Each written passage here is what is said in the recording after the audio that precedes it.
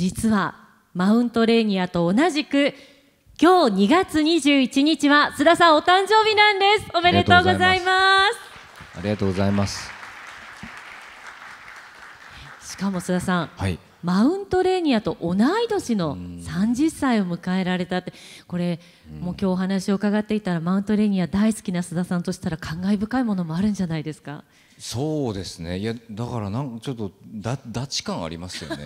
なんか同じ93年2月生まれでしょ、はい、もう俺にとってほぼ中野大河みたいなもんなんで びっくりしますよね。そうですよね、はい、だからそれはでも本当なんか不思議な縁だなと思いました。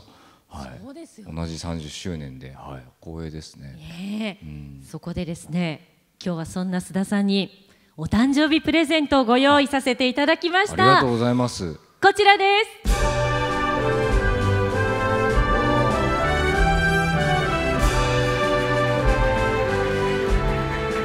森永乳業佐久間さんにお誕生日プレゼントをお持ちいただきました。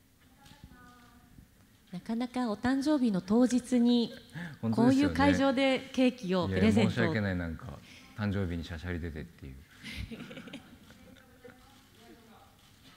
はいえーとそうですね。今日本当30歳というあのことなんですけれども、えー、マウントレーニアも30周年で、えー、お互いになんか不思議な縁を感じております、えー、いいスタートが迎えられてすごく嬉しいです。